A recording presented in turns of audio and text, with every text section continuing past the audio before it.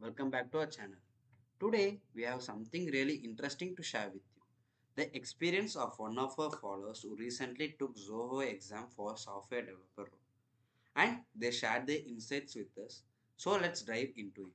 So the Zoho exam had two main sections, coding and aptitude.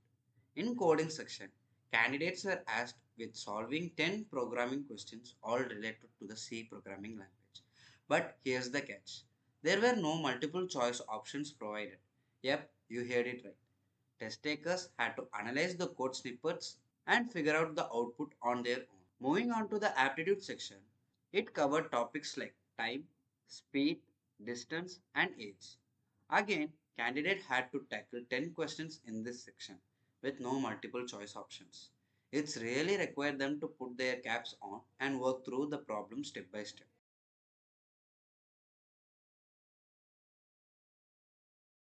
Now, I know you're probably thinking what specific questions were asked in the exam.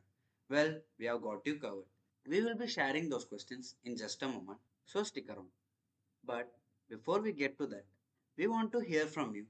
Drop a comment down and let us know what you would like to see in our next video. Your feedback means a lot to us.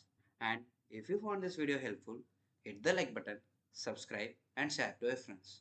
Alright, let's dive into those Zoho exam questions. Get ready to screenshot those valuable insights.